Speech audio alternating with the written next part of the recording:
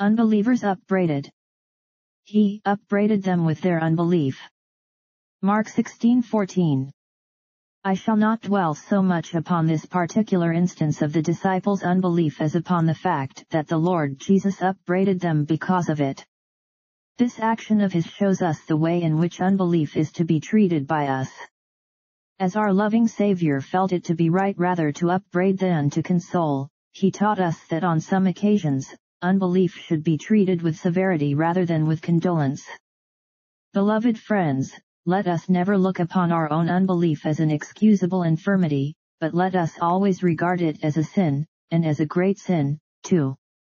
Whatever excuse you may at any time make for others, and I pray you to make excuses for them whenever you can rightly do so, never make any for yourself. In that case, be swift to condemn. I am not at all afraid that, as a general rule, we shall err on the side of harshness to ourselves. No, we are far too ready to palliate our own wrongdoing, to cover up our own faults and to belittle our own offenses. I very specially urge every believer in Jesus to deal most sternly with himself in this matter of unbelief. If he turns the back of the judicial knife towards others, let him always turn the keen edge of it towards himself. In that direction, use your sharpest eye and your most severely critical judgment. If you see any fault in yourself, you may depend upon it that the fault is far greater than it appears to be, therefore, deal more sternly with it. It is a very easy thing for us to get into a desponding state of heart, and to mistrust the promises and faithfulness of God, and yet, all the while, to look upon ourselves as the subjects of a disease which we cannot help, and even to claim pity at the hands of our fellow men, and to think that they should condole with us, and try to cheer us. Perhaps they should, but, at any rate, we must not think that they should. It will be far wiser for each one of us to feel, this unbelief of mine is a great wrong in the sight of God. He has never given me any occasion for it, and I am doing him a cruel injustice by thus doubting him.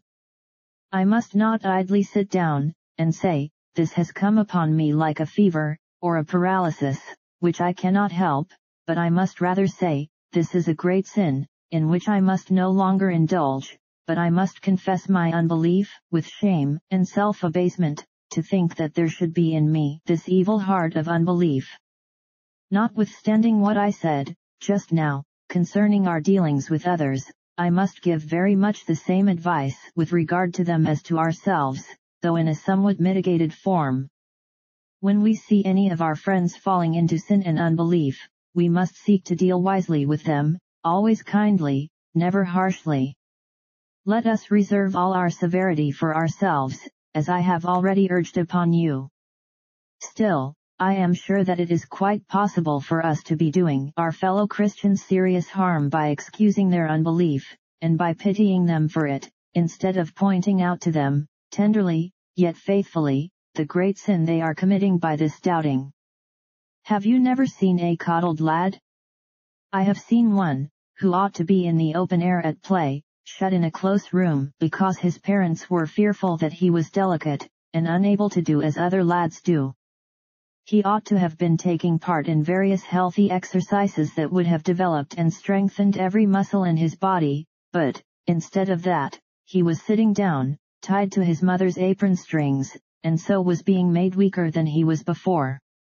He was kept in an atmosphere which was not fit for him to breathe, because his foolish parents were afraid the fresh air might be too trying for him, and long before he was ill, he was dosed and physicked until he really became ill. Many a child has been murdered by being thus coddled, or, if he has lived to grow up to manhood, he has been a poor, feeble, effeminate creature, because the abundant love, which has been lavished upon him, has been linked with equally abundant folly. You can easily treat Christians, and especially young converts, in the same senseless fashion. If they are unbelieving, you can keep back from them the stern truth about the sinfulness of such a state of heart and mind, because you fear that they will be discouraged if you deal faithfully with them. That is quite as wrong as saying to the unconverted, over and over again, only believe, without ever mentioning the need of repentance and regeneration. there is a way of misapplying even the promises of God to unbelieving hearts, and of giving the consolations of the gospel to those who are not in a condition to receive them, as one might give sweetmeats to sick children, and so do them harm. People, who are thus unwisely treated, are apt to remain in the same sad state until their unbelief becomes chronic, and their unhappiness becomes a lifelong burden to them.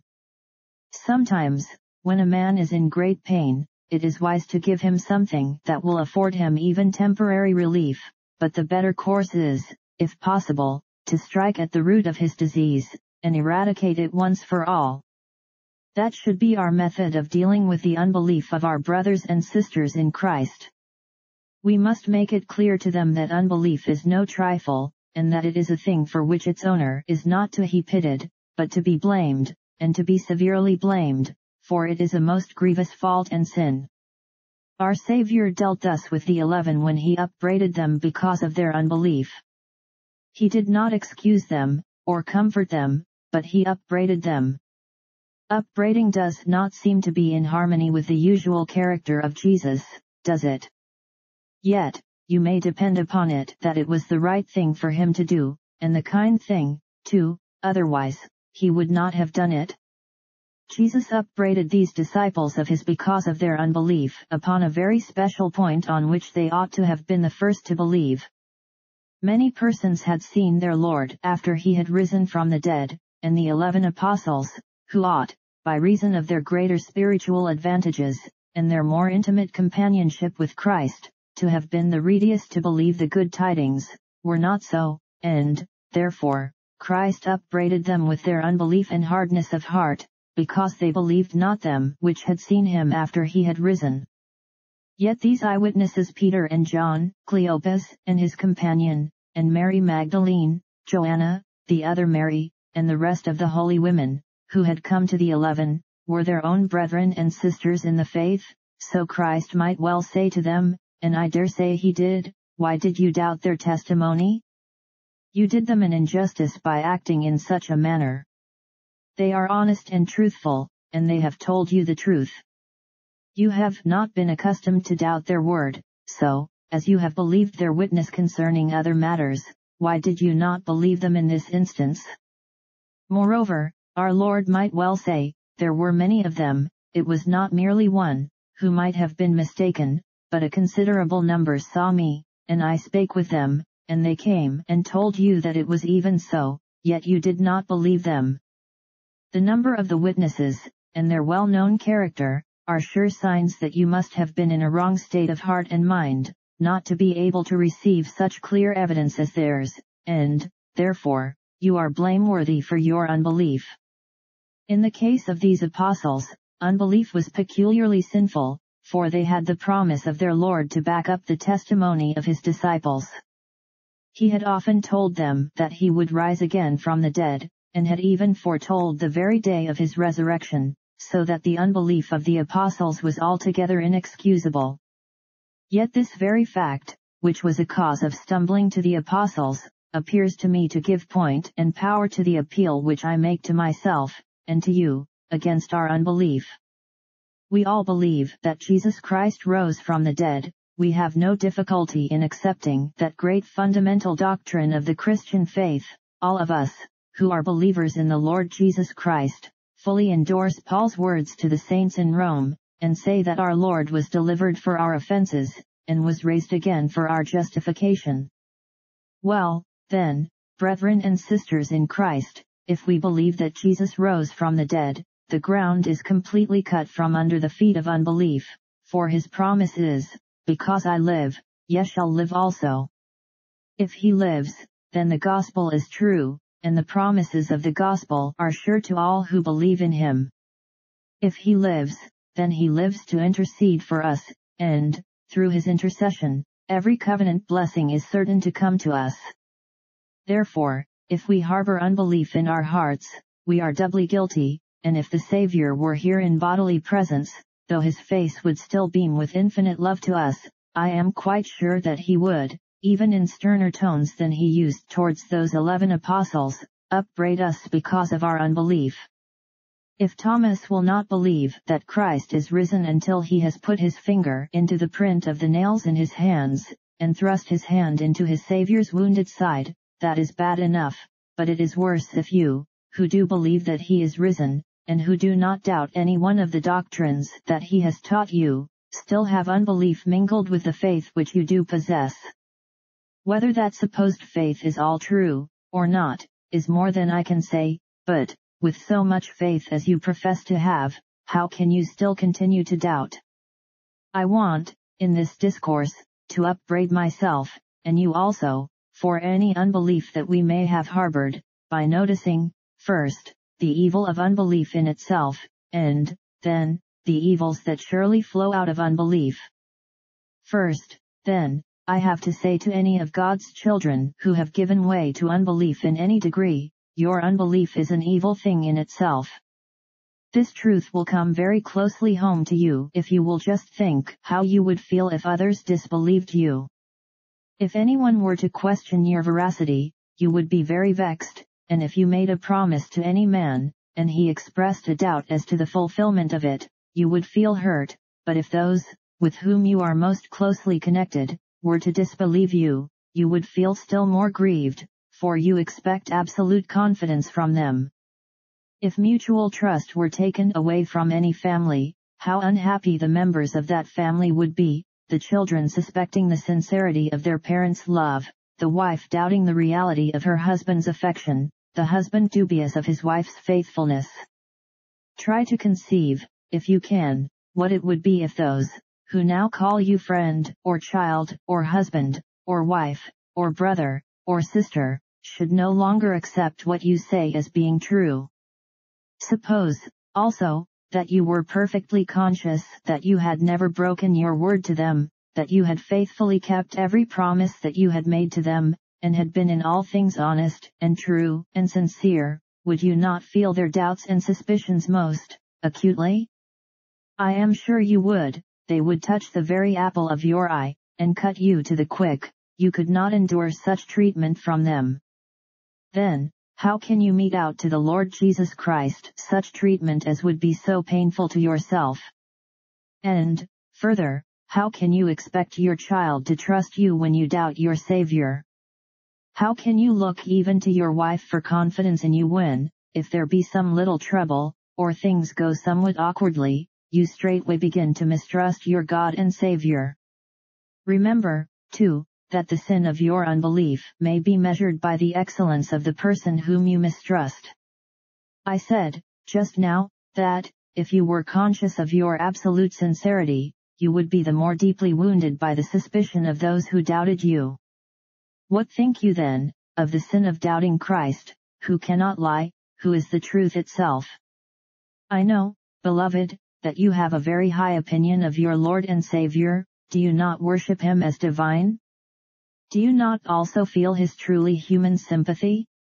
You know that there is no clause in his everlasting covenant, ordered in all things and sure, which he has not already fulfilled or which he will not fulfill at the appointed time.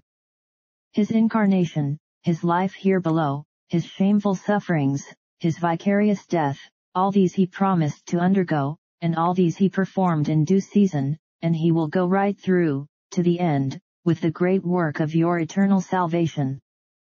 By the mouth of his servant Jeremiah, the Lord asked, Long ago, have I been a wilderness unto Israel? A land of darkness. And the Lord Jesus might well say to his professed followers, Have I been as the barren fig tree was to me when I found on it nothing but leaves? As he points to the long list of his favors to us, he may well ask, For which of them do you thus misjudge and mistrust me? And when he spreads out the whole roll of his life and work before you, he may well inquire, upon which part of my life or work do you base your suspicions?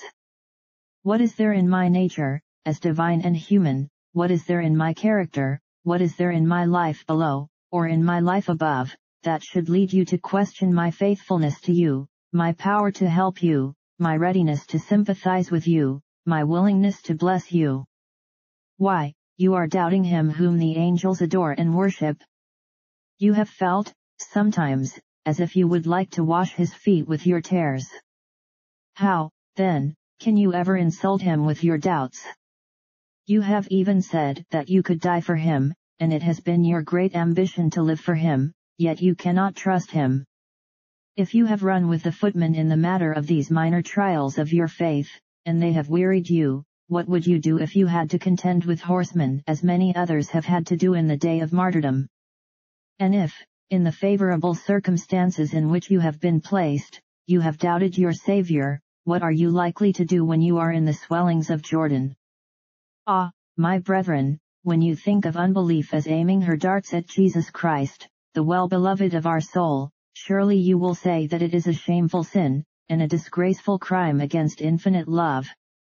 Then, remember, beloved in the Lord, the relationship in which Jesus Christ stands to you. You know that, the more closely we are allied to a person, the more painful any suspicion on the part of that person becomes. I have repeatedly used, in this connection, the figure of a child's trust in a parent, a husband's trust in his wife, and the wife's trust in her husband, and you have readily accepted the comparisons because you have felt that the nearness of the relationship would involve a corresponding degree of trust. How near how very near we are in kinship to Christ. Are we not married to him? Has he not espoused us unto himself forever? There is a conjugal union between Christ and his church of which the marriage bond on earth is but a feeble type. Then, can you who have been renewed in heart by the Holy Spirit, and washed in the blood of the Lamb, doubt him whom your soul loveth? Can you distrust him to whom you are so closely allied? Oh, shame, shame, shame, that want of confidence should come in to mar such a wondrous union as that. But we are even more closely knit to Christ than the marriage union implies, for we are members of his body, of his flesh, and of his bones. I cannot explain that secret, mystical union of which the scripture speaks, but it is a true union, whatever mystery there may be about it. Then, shall there be such disunion amongst the members of the body that the eye shall begin to doubt the heart, and the hand to mistrust the foot? It would be pitiful if such a state of things could prevail in our bodies, then, what must it be if such a state of things prevails among the members of the mystical body of Christ? Beloved, may God render this unbelief impossible by sending such life floods of grace through all the members of Christ's body that nevermore shall a single thought of mistrust of our glorious covenant head enter our minds even for a single instant. Consider next, I pray you, dear friends, how many times some of us have doubted our Lord. The sin of unbelief becomes all the greater because it is so frequently committed. God be thanked that it is not so with all Christians. For there are some who walk in faith and dwell in faith. I suppose that, as birds fly over everybody's head, as doubts fly around all good men's minds, but our old proverb says, you need not let birds build in your hair, although there are some people, who let doubts come and lodge in their minds, and even dwell in their hearts. We know some persons of this kind, who seem to be very easily led into despondency, and doubt, and mistrust of Christ. Well now, if a man has done this only once, I think he might well say to himself, I did once question everlasting truth. I did once stain the spotless robe of infinite veracity with a dark blot of suspicion, and I think that he might find it difficult to forgive himself for having done a thing so vile even once.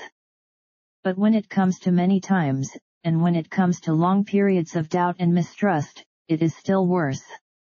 I want to press this point home upon all whom it concerns, and I want your consciences to be wide awake, so that, as you recall the many times in which you have thus sinned against your heavenly Father, and against his blessed Spirit, and against his divine Son you may recollect that each distinct act of unbelief is a sin, each act of mistrust is another wounding of the Lord. God grant that we may truly repent as we think of the many times in which we have been thus guilty. Then there is this further point, some of these actions have been repetitions of former ones. For instance, a man is in trouble, and he has doubts concerning the providence of God, but he is delivered, God is gracious to him, and helps him out of his difficulty. Well, now if he falls into a similar trouble, and if he is again guilty of harboring doubt, this is far worse. If a man should doubt your word the first time you speak to him, you might say, well, he does not know me. The second time, you might say, when he has proved me more, he will trust me. But what shall I say of those, whose hair has a sprinkling of gray in it, and whose Christian experience extends to a score of years, or more, perhaps, two score, possibly, three scores. Oh, if you doubt the Lord now, it will be a crying shame. It will not be surprising if some of us act thus, for so did Israel for forty years in the wilderness, but that does not mitigate the evil in our case. It is a desperately evil thing that God should be mistrusted over and over again, and that he should have to say, How long will it be ere ye believe me? I scarcely like to linger on such a sad theme, yet it does our hearts good to be thus upbraided, so, recollect that, oftentimes our unbelief has come in the teeth of our own assurance to the contrary. Do you not sometimes catch yourself saying, after a very great mercy, well, I never can doubt the Lord again? When you have had an answer to prayer of a very memorable kind, you have said, Oh, I must believe in the power of prayer now. For me ever to think that the Lord will deny me, must be impossible. Yes, in that respect also, we are just like the Israelites, who promised to keep the covenant, yet speedily broke it. There is also this aggravation of your sin, although you do not trust the Lord as you should, you do trust your fellow creatures. You can believe that lie of the old serpent. The Lord hath forsaken thee quite. Thy God will be gracious no more. Yet you cannot so readily believe the oath and promise of God. If an earthly friend were to say to you, I will help you, how readily you would jump at his offer. If there be an arm of flesh near, how cheerfully you lean upon it, and, though, perhaps, there be nothing for you to stay yourself upon but a broken reed, you think it is a strong staff, and throw all your weight upon it? It is quite true that ungodly men, who have no faith, generally have any amount of credulity. They cannot believe the truth, but they can believe lies to any extent. So is it, alas. With God's own people when they get off the track of faith, they seem to become credulous concerning the things seen, which are temporal, in proportion as they become dubious of the things unseen, which are eternal. Is not this a sin of the greatest blackness? Thou canst not trust thy husband, but thou canst trust a flatterer who deceives thee. Thou canst not trust thy God, but thou makest idol gods unto thyself, and trustest to them. Thou canst not stay thyself on Jehovah, but thou canst stay thyself on Egypt. Thou canst stay thyself on the promise of man, who is but as a moth which is soon crushed, but as for him who made the heavens and the earth, and all things that are, thou canst not rely upon him. I feel as if I could sit down and cover my face for shame, when I think of those occasions wherein I have been guilty of this sin. Perhaps the best thing we could all do would be to go home, and fall on our knees, and ask our blessed Savior to wash away all this unbelief, and not to believe us when we talk about doubting, but only to believe that, as he knows all things, he knows that, after all, we do trust him.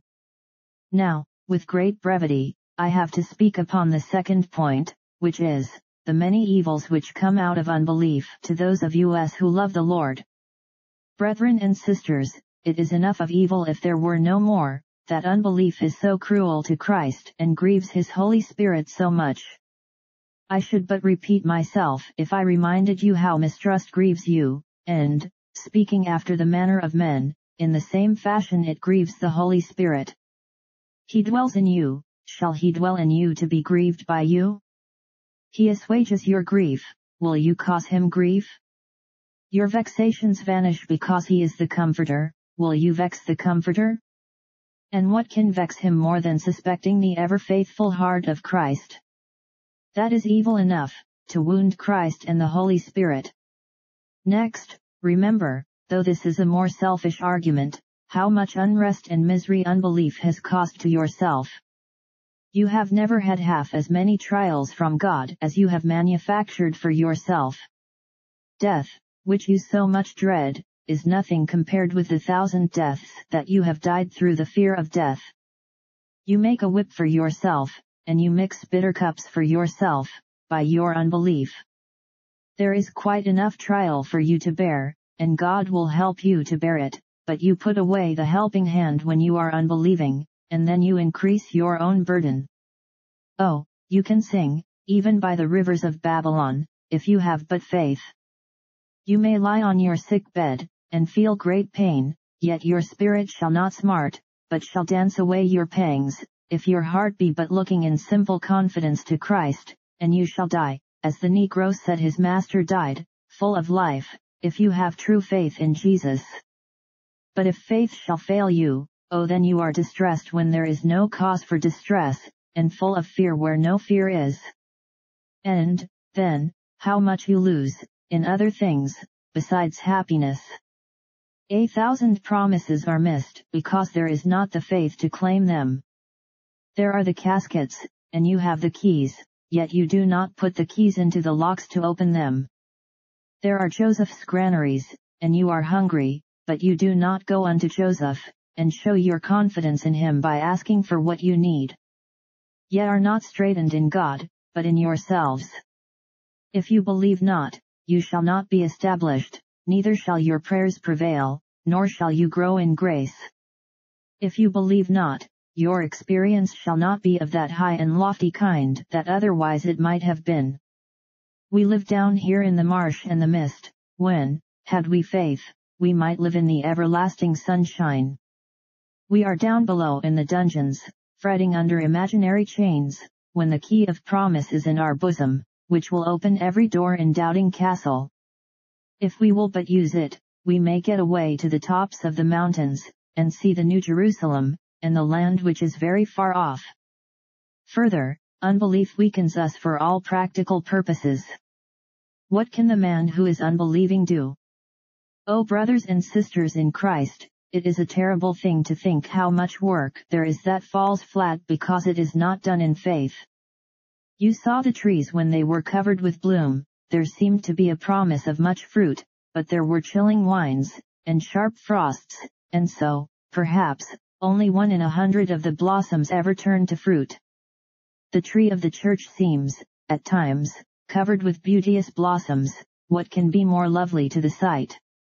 But the blossoms do not knit faith is the bee that carries the pollen, it is faith that fructifies the whole, and makes it truly fruitful unto God. What might my sermons not have done had I believed my master more? You, Sunday school teacher, may say, had I taught in greater faith, I might have won my scholars. Or you may say, had I gone to my visitings of the poor and the sick in the strength of the Lord, who knows what I might have done for him. Faith is the Nazarite lock of Samson, if it be shorn away, Samson is weak as other men. Then, as to suffering, wonderful is the power of faith there. If you are trusting your heavenly Father, believing that all is right that seems most wrong, that everything that happens is ordered or permitted by Him, and that His grace will sweeten every bitter cup, you can suffer patiently, and, as your tribulations abound, so will your consolations abound in Christ Jesus. Like the ark of Noah, as the waters deepen, you will rise upon them, and get nearer to heaven in proportion as the great floods increase. Unbelief, in any Christian, no doubt has a very injurious effect upon other Christians. There are some, who are like sickly sheep, which infect the flock and poison all the rest. Especially is it so, dear brethren, if you happen to be in office in the church, or to be doing any prominent work for Christ. If the commanderin, chief trembles, the army is already conquered, if the captain begins to fear, fear will take possession of every soldier's heart in his company. Was it not grand of Paul, in the shipwreck, when all others were dismayed, and thought they should go to the bottom, but he said, Have no fear, sirs, and he bade them eat, as he ate, calmly giving thanks to God before them all? Why, Paul saved them all by his calm confidence in God.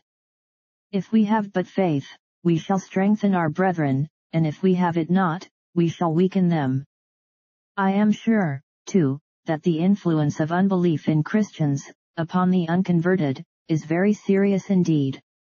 If we do not play the man in times of trial, if we do not show them what faith in God can do, they will think that there is nothing in it.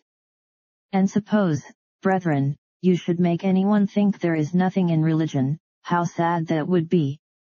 When the devil wants a friend, surely he could not find one more able to do him service than a child of God who is full of mistrust. The children say, Our father only trusts God for bread when there is plenty in the cupboard. And the servants say, The master is only happy in the Lord when he is in good health. And those who know our business affairs say, Oh, yes. So and so is a great believer, but, then, he has a big balance at his bankers, you should see him when trade is bad, you should see him when there are bad debts, and you will find that he is not a bit more a believer in Jesus Christ than any of the rest of us. He is a fair weather Christian, he is like the flowers that open when the sun shines, but take away the summer prosperity, and you will see but little of his religion. Let it not be so with any of us, but may God deliver us from this tremendous evil of unbelief.